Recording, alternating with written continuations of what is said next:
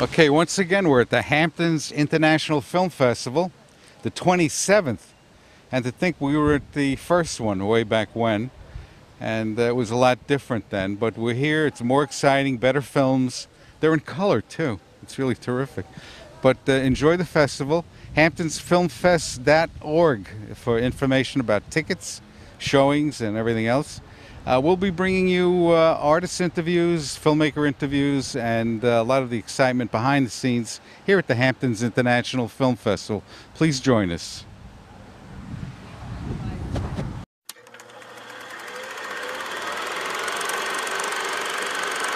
I'm here at the VIP line. Keeps getting These people here are all tickets except for us. celebrities. And These everybody keeps given up getting their tickets, so you, you're here because you're an avid film lover, right? Yes, I am. I am. Uh, but everybody's gotten free tickets but us. Is that right? Yeah. Oh, that's terrible. That's not that good. That's not good.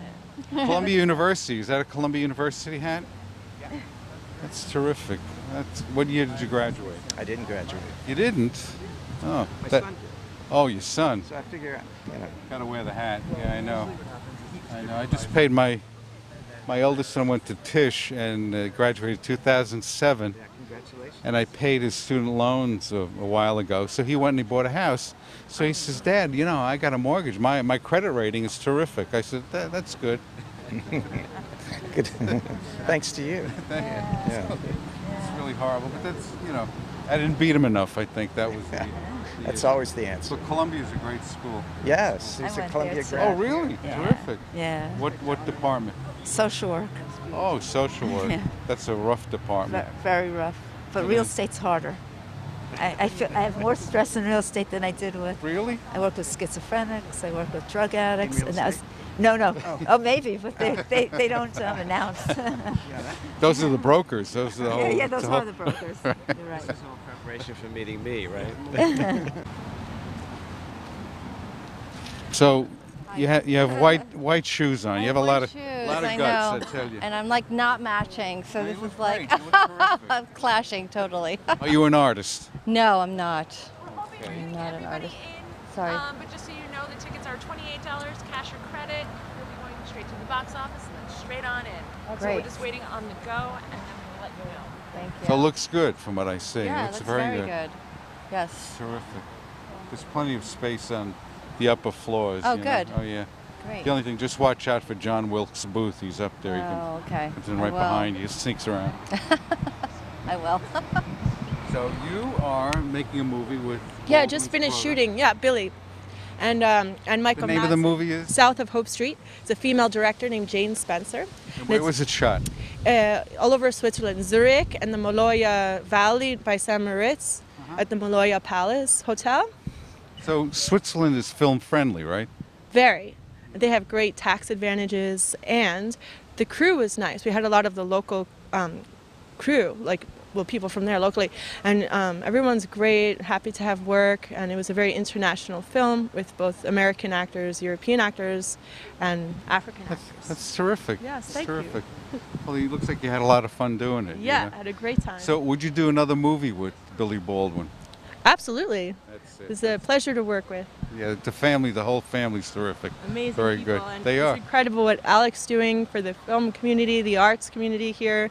And uh, thank you, Alec. We love you in the Hamptons. You're awesome. He is. And He's hilarious, gorgeous. My Yes, God. he is. Both of them are make a great team. They have great kids, Yeah. and they're really community minded, which Exactly. is, you know, uh, it's really needed nowadays. You know, we don't have the uh, support of any other uh, venue, but uh, it's great. Well, thanks for being here. yeah. really enjoy I'm, it. I'm here in the Hampton spirit. And, And when is the movie going to be released? well, now we're in the stages of editing, so that's very exciting. Okay. Yeah, Patricia Rommel, who edited The Lives of Others, has agreed. to Oh yeah! on. Wow, terrific. Yeah, it's a Well, female-produced film, female director Jane Spencer, and I'm very excited. Get in there because you're Thank lucky you. to get I in. hope to get it in next year's festival. Very good. All right, ladies, you're going to go in there now? Yeah. Very Yeah. good. All right. All right. Stand in line for this in this cold weather. I know. Don't they know you're a filmmaker? I know, I know. I don't get special privilege. Who would? Uh... Solana, Yes. how are things going with you? Well, this first film I saw, Hearts and Bones, is really good. It's kind of like a documentary in style. It's very painful, but beautifully done. It's about conflict, war, and killings. Reflects what's happening today. Lana is, uh, everyone knows, an accomplished filmmaker who's going to go in there and see a film. Now I'm going to see Artists' Wives. Yes. So, yeah, I'll see Take what happens. Bye bye.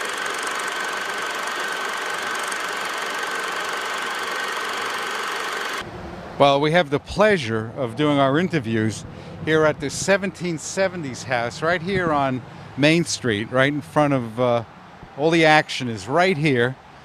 Great place, great place for dinner, great place to stay. 1770s house. Just check them out on their website, and uh, if you're in East Hampton, it's a place to be.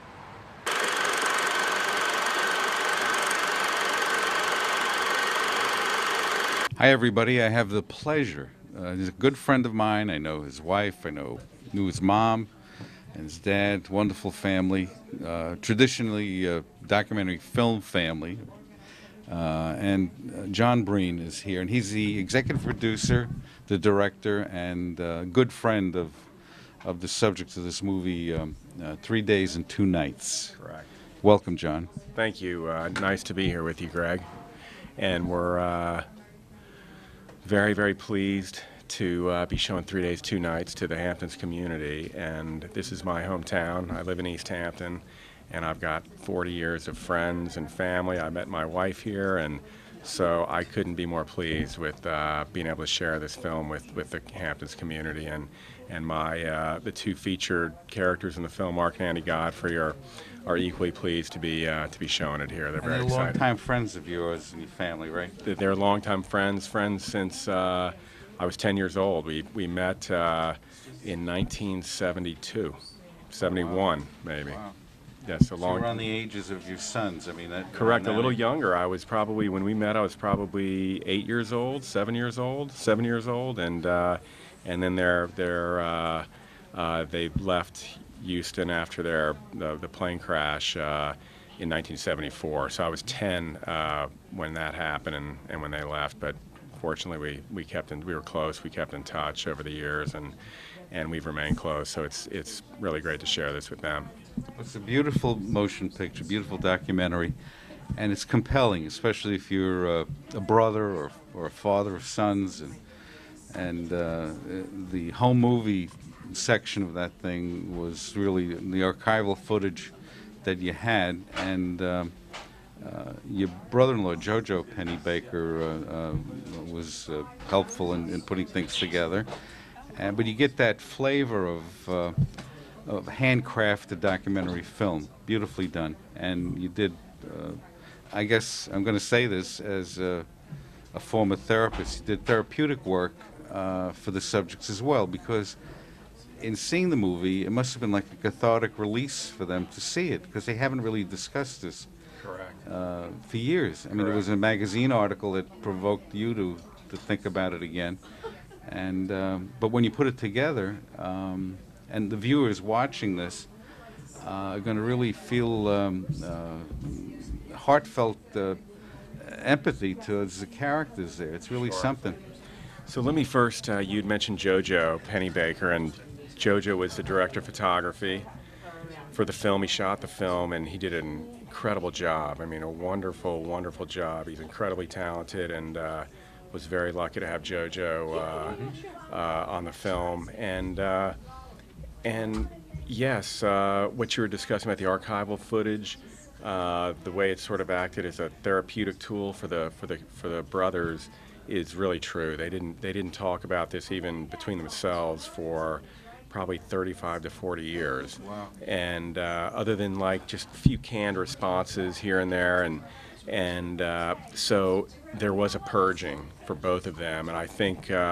I think it was a burden keeping that inside them for so many years, and and I think it probably, uh, you know, prevented them a bit from from healing um, and from from kind of confronting it uh, and moving past it instead of holding it inside themselves. And I think if there's if there's one thing that I have to say that's really incredibly rewarding for me is just forget about the film itself and what happens in the film, but in their just regular day-to-day lives, they're different people. Um, you know, Mark, the older one, is. Uh, it's like he's just a much more open person. You can see he's, he he is he. I think he has sort of these protective mechanisms that he put up uh, to deal with with uh, with with that and with sort of people's curiosity about it. But I think he needed to to release. He needed to, to get rid of some of those things. He was carrying a burden around for, uh, for many many years. Uh, to the point that he barely he didn't even discuss it with his wife. Um, I remember during one of our film sessions, he was saying some stuff, and his wife looked over and she was off camera and said, I, I can't believe you've never told me that. So it, it just, you can just see they're, they're more relaxed, they're more open. I think they've come to terms with, with what happened to them, and, and I think it's, uh, you know, they smile a lot easier, um, for sure. And obviously, you know, they went on and rebuilt their families, each have their, you know, wives and four kids and um, but even through all that i think there was still something inside them and i think it allowed them to to release it. you carry that child in the right. Forever. Forever. and i think it's one of the things we were trying to i'm going to segue into what you were talking about the um, the archival footage we have in there. It was very difficult to edit this film because of you know we had the past and we have the present. We have their family in the past their new families now. Um, we had to somehow make sure get all this integrated without confusing people really. And and i think i think what the archival footage does is that it it it allows you to, to watch it in the present and to be with them in the present but also be part of their childhood as well and i think what it, what that is what that's done at least the feedback that i've gotten with from audiences is that it's moved the audience to consider their childhoods, their lives, Right. their adulthood. To it moves them to think about their relationships and what they've their, the choices they've made in their lives, and because of that, there's this nostalgic sort of ring to the film that I think people identify with, and certainly. I know that Mark and Andy, while we were making the film, you know, it allowed them to really kind of think back on their childhoods and sort of what their dreams were, and to think, you know, hey, is, did did that did that crash, did that incident, that one incident in my life, did that somehow change the way what my dreams, what my hopes and ambitions were when I was a child? And I think uh, I think it was positive for them, and frankly, it's been I think it's been a positive thing for the audience as well, It's the people that see it. The, the, um, when he described, uh, I, I guess the, the best thing to do without, uh, you know, tipping off the whole enchilada here, is to give the viewers at home that haven't seen the movie, uh, sort of to pique their interest. Sure. What the storyline is. So, th- um, this is a plane crash survival story. Um, that's certainly what it is uh, on the surface. It's uh, and it's a it's something that happened in 1974. So this is a 40, 45 year old story. Um, and Mark and Andy Godfrey uh, were in a plane crash in 1974. Their parents, brother and sister, perished in the crash. They were left on a mountainside in Colorado for three days waiting to be rescued. Um, they were rescued. Their uh, aunt and uncle took them in as orphans and and raised them. Uh, and then they went on with their lives. They went to college. They started jobs, just living, trying to live as normally as possible.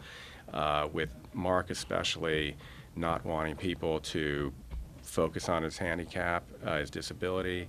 Um, he wanted to be treated just like anybody else. He's a, a double amputee. He's a du- he's a double amputee. But he was Um, an I was I was athletic- thinking about letting letting people see Oh, see that in the film. okay. Uh, but he, but he, but he All right. yes he is. He's a double amputee, and he was an excellent athlete prior to this uh, uh, prior to the, the crash, and so he he had stuff taken from him for sure. uh, in addition to his parents and just his ability to to live the life that he thought he was going to live. Um, but anyway, so it goes on from there, and it, it discusses how they, uh, the film uh, goes through how they finally decided to confront this this monster that was in the closet for so many years, and uh, and also delves into their relationship. Uh, and the two brothers' relationship, and how they've sort of dealt with this and dealt with each other. Um, If it wasn't for each other, they would have never survived. uh, per- definitely not. Mark would not have survived. Andy was the eight-year-old. He was he was able to move around uh, the fuselage and uh, at one point considered going for help, but he jumped in the snow and it sank into, you know, up to his chest. But Mark was pinned uh, under a chair the entire three days. So, lot of blood so loss, a lot of- yeah, so and and and yes, and so with their family around them as well. Um, it's remarkable that they remembered what the mother said. Yes. Stick with the plane. Right, stay right. together. Sure. You know, stay alert. You know, uh, the food, whatever is there. You know, try to Sure. spread it out. Like she, uh, and, and know that advice ringing in their ears must have been, especially the older child, to protect his brother. Well, it was the younger child who was protecting the older brother, and they, they talk about that in the film as well because Mark was pinned. He couldn't move. So if he didn't have Andy there to give him snacks, they had peanuts and Cokes, and I think at one point they probably opened some alcohol and drank that for warmth. Um, but he certainly would not have made it. Mark would not have made it without his, ol- his younger Remarkable. brother. And it's, it's interesting that Andy, uh, the eight-year-old, is the one who, of all the people on the plane, was the one who uh, was able to save a life. Right. Uh. And um, and, what and- did your sons think when they saw this? There's, there's two brothers and watching you who crafted the movie. Uh, what do they think of this whole thing? I mean, the, the youngsters and they. you know, Sure, sure. uh, Well, it was interesting because what, it's it's been a five-year process, and so at a certain point, my boys were the exact age of the two boys that were in that plane, and I just and I was looking at my 11-year-old and my nine-year-old and saying, could they have survived in that plane on a mountainside? And and you think about it, and you're like, well. Your survival instincts kick in, but you still can't believe that an 11-year-old and an 8-year-old were, out- were, were out on those we're out on the mountain in fr- freezing cold weather and you know and dealing with the circumstances around them that you know I think when I looked at you know my children at that time I just thought oh my goodness you know I just it's the the pain and uh, the horribleness of it just the, the thought of them being out there I think uh, you know kind of it, it just it's it's a shock it's a It's shock It's very sobering when you think it, about it, it. it really is. And, uh, and obviously, though, you know, uh, for them, and the lesson, the message is, you know, just appreciate every day. Number one. Number two, you know, don't hold those things in. You know, um, the, the old idea of, uh, men having to be strong, silent types and don't ever show your emotions and fears or anxieties, you know, that's not the way to go. No. And uh, and so those are you know, it's it's okay to to uh, to show emotion, to show fear, to show vulnerability because often, you know, as this film demonstrates, that's that's the best way to get to to your healing uh, period. And I think that these guys needed to to do that themselves and uh, in order to to heal. Well, it's a remarkable motion picture. We highly recommend it.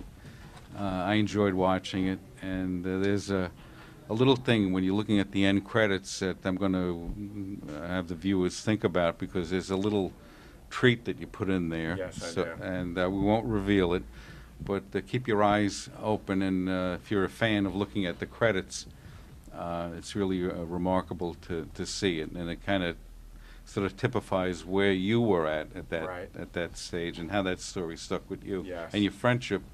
Um, so they never went back to Texas. Did they live in Texas? Uh, They never they never moved back to Texas. They uh, they moved to Colorado, um, and then they went to college and they lived in Providence for a while, uh, and then they both moved back to Col. They both ended up in Colorado. Andy's in Aspen, uh, and Mark is in Denver. Um, I don't think they I don't think they feared going back to Texas, but I, what I do think is that. Uh, as Mark described it, he said he didn't want to go back and be pitied. You know, he didn't. Right, he, right, right, everybody would have known him. Everybody would have known his story, and he would have been treated that way. And in in Denver, he was able to be somewhat anonymous. And People develop- people didn't know his family's story, and but in Houston, it would have been you know, he would have been you know pigeonholed. He was the survivor, the plane Mm-hmm. crash survivor who lost his legs, and he didn't he didn't want that.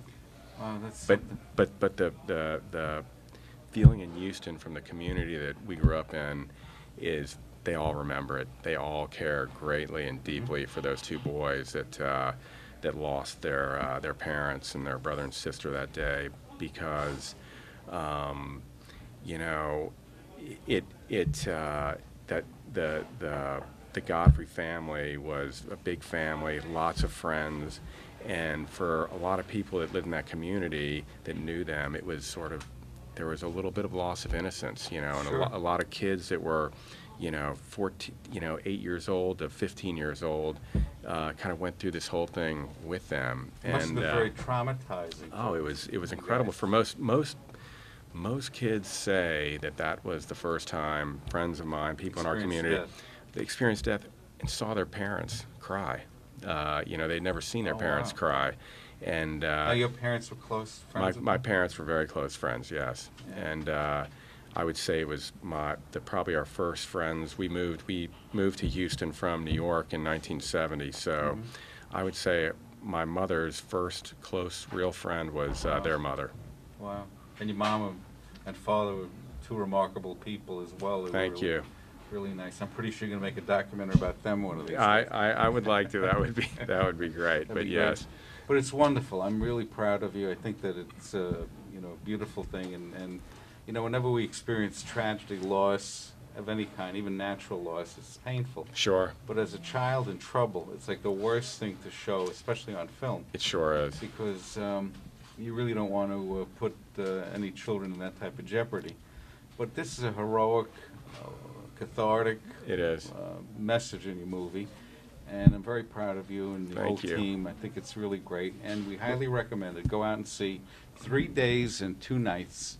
It's uh, uh, Films of Long Island, because he's a Long Island product, and we're very proud of you. Thank, you very John. much, Greg. you I very much. appreciate that. Thank you. Thank you.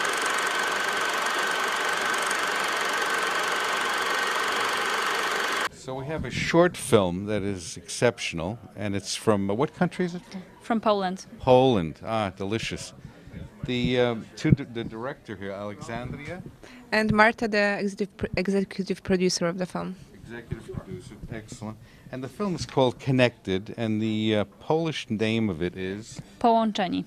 It means connected. Connected. Poentiny. Is that close? No, No, not even close. not even. close. So I, I shouldn't work for the UN to No. trans. They'd get in trouble, right? yeah. So moving away from that, this movie is an exceptional story of um, of basically survival, right? Would you say? Yeah, I could say that. Uh, the main protagonist is Krzysztof. He's in his old 50s, uh, uh, late 50s, and uh, he is blind, fully blind. But he uh, he managed to follow his passion, and uh, he's skiing with a guide, and his guide his, is his wife. Wow, that, that, that must be very difficult to do. I mean, I've seen people, you know, uh, with uh, vision disabilities like skydive and different. But how do you manage to ski? Because don't you have to look at the topography to determine where you're going to go? Well, uh, you feel the balance that you go down, and then you have the speak uh, the headset, and you can hear your guide telling you right, left, stop, or be careful. There are moguls. So it's all about feeling and all about putting all the trust to the other person. I know that because when, when I drive, my wife does that. She says left, right, straight, you're going to crash, that type of stuff. Yeah. So I can drive blindfolded, I think. Yeah. But uh, what made you make the movie? What was the motivation? Well, my inspiration was my sister because we were skiing together since we were small, and she had a suspicion of glaucemia. So I got really afraid that she will lose her sight and we won't be able to ski. I did research, and this is how I got to know that you can ski blind, uh, but you need a guide. My sister had a medical treatment and she's all well. She can ski and she can s- see. Uh, but I was already inspired and I want. I thought it's a great metaphor of love and trust, and that you can make a short documentary of, of it. And how did you two get together? Uh, we met just before our studies in film school, and we did all the shorts uh, within the studies together. And this is uh, Aleksandra's diploma film, and now we we're grad- we graduated already. What And school? uh, Lodz Film School in Poland. Very nice. Uh, it's this, you know, famous film school where Polanski was studying and this stuff. Roman Polanski. Yeah. Yeah, and we, we finished the studies already, and we, we're developing now the, the full length documentary together in the company and I work with. Excellent. And it was shot uh, digitally or on film? It was shot di- dig- digitally because we, uh, I think it would be too hard to to shoot on a film in the mountains. It was. Even if we were shooting digital on a small camera, Blackmagic Pocket, it was still very difficult because uh, conditions were harsh. It Any was GoPro footage? No, no GoPro footage. I have to ask because we um, we have a, a thing on our station called Outside Television, and they do surfing and, and uh, snowboarding and mountain climbing, all with GoPro stuff, and it's become like the uh, Yeah, we wanted to make it more artistic and independent. We did some tests with GoPros, but Yeah, there's a lot of limitations yet, Yeah. so it's really Yeah. something. And uh, your project, I mean, you're going to collaborate on a future project, Yes. both of you. Yeah. It's a great team. Beautiful movie. We highly recommend it. It's really a lovely thing, lovely story. It shows, uh, you can see the compassion uh, in what you have. You, you, your, your lens captured that whole thing, which was really beautiful to see. And um, uh, go see it. It's called Connected. Yeah. And for our Polish friends out there, the Polish name of Connected is. is połączeni. Okay, go home and practice that. But uh, here in East Hampton, go to see Connected, and uh, it's it's well worth it. And if you get a chance, meet the the filmmakers because they're really wonderful, and it's terrific. You're a credit to the film school. It's really a great thing. You did a great job. And for the viewers at home, if they want to get in touch with you or write to you, do you have a website? Uh, we have a Facebook profile. You just have to write connected, and the first page will that will uh, it's ours. Yeah. That's great. So connected to Facebook is connected, which is good. Very exactly. good. Let's I stay tell you. That's good. I'm pretty sure that uh, you know Zuckerberg is probably going to pay a lot of money to release that. Uh, I hope that- so. Terrific. Well, uh, and distribution is open. Uh, you're open for distribution. yes, exactly. That's good. So if there's any people out there with a lot of money and they want a good movie or a, a, a movie to uh, sort of uh, uh, use as, a, as an audition piece for something major, Yeah. uh, here they are. They're two young filmmakers and they can do the job. That's terrific. And they're good in snow too, which is not easy. Yeah, yeah, yeah. we can work in harsh conditions. I know. Well, here they are. I wish you the best of luck and thank you Thank for you being on very our air. Thank, Thank you, you. dear.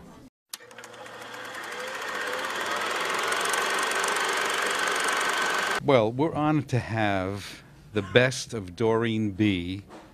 And we have a wonderful woman here who is uh, the director, right? Yes, I'm the director of the movie. I'm Anke Blondé. Anga. And Anga is from uh, uh, the Netherlands? No, you're from No, Belgium. I'm from Belgium. Belgium. And what brings you to this wonderful movie? How did you get involved with this movie? Well, actually, it all started uh, uh, when a producer asked me whenever I wanted to make a feature film, just to come up to him. And so I was like, okay, yeah, great, let's do that. And uh, no, I was making shorts, and we made a short together. And then later on, um, I developed a story that was based on my own emotions. When I was like 32 or something, and I had like this fallback in life, and everything came on to me like in the same time. Hmm. And I had this total feeling of abandoned, like nobody was around me that supported me anymore, just for a while. And hmm. uh, and so I started to think things through, and I started to reconsider the choices I made in life, and that's the emotion what the movie is based upon. Hmm. So it's truly autobiographical. It's not. It's not autobiographical, but it's personal, as mm-hmm. in that these emotions I had are sometimes maybe the emotions of my character, but not in totally different in a totally different way with totally different setting and totally different characters Excellent. around her. Now, uh, were you formally trained in, in motion pictures? Did you go to film school? Or did you? Yeah, I did go to film school, and then I directed uh, some theater plays, and then I did some shorts, and then I worked for a casting director for a while, and then I started to direct like properly, like now. That's terrific. Quite an experience, and you know, you're a young woman. It's like uh, I'm not that young, well, you're not that young. but shh, it doesn't matter. Okay, but you sure fooled me. So, New York premiere. Give give the viewers at home, without you know, getting uh, the whole plot away.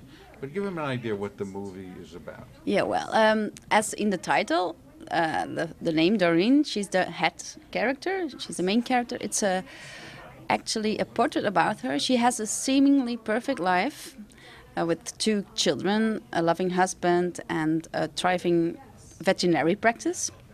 Um, but that falls a bit apart after she reads an article in the news in local newspaper about anonymous news about uh, a black hole on the horizon. Then things start to fall apart, and amongst them are some devastating um, setbacks, like fallout of, of, of an affair, her parents' divorce, and some bad news in the hospital.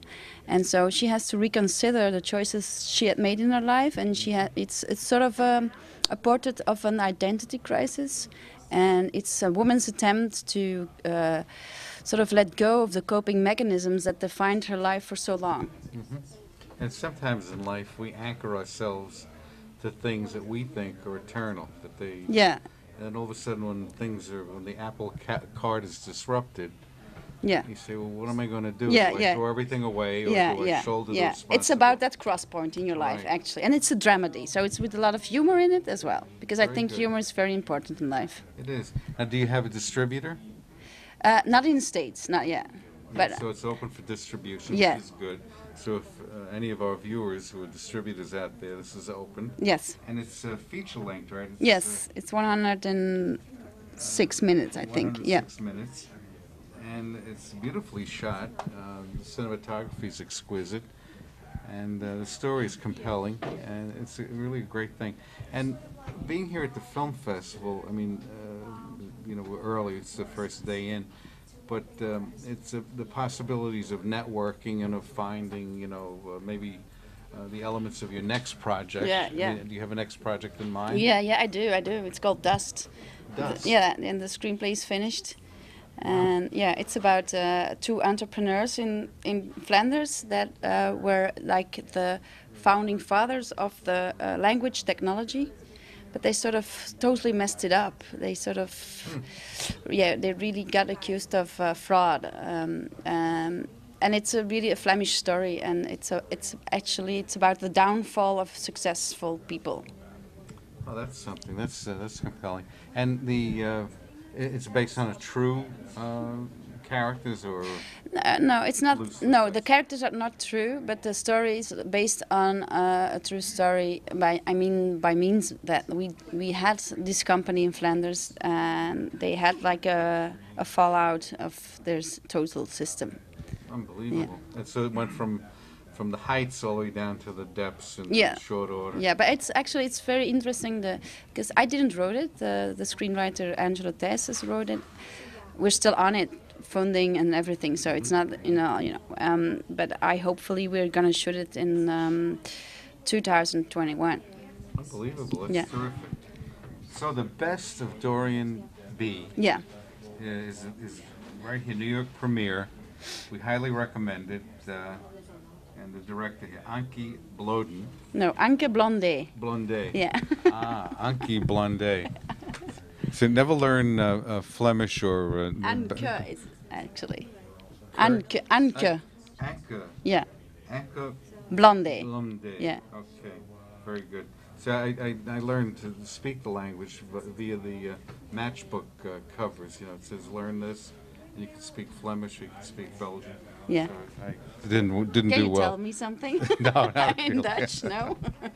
Try. Close cover before Bunker, striking. no, yeah, you I just- bunked my yeah, head. yeah, That's- yeah, that- bunker that is was- like, I uh, should have yeah. quit then. That It's would like- been good. That's bunker. So the screening for the rest of the week, it's going to be uh, on the 11th, 1 p.m. East Hampton Cinema 4, and on the 12th at East Hampton Cinema 2. Yeah. So you'll have two, and you'll be there.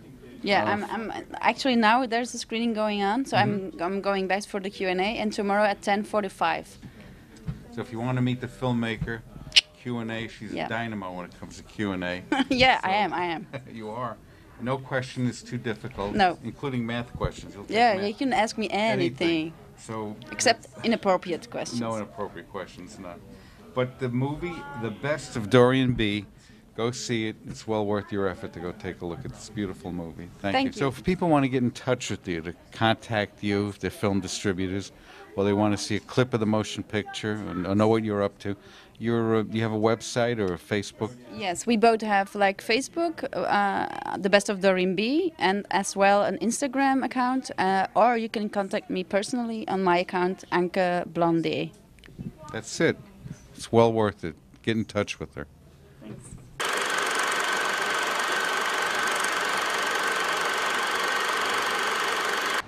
We're here at the Hamptons International Film Festival, number 27, WVVH TV. I'm Greg Schimizzi, and uh, join us tomorrow for another action packed day of artists and filmmakers interviews.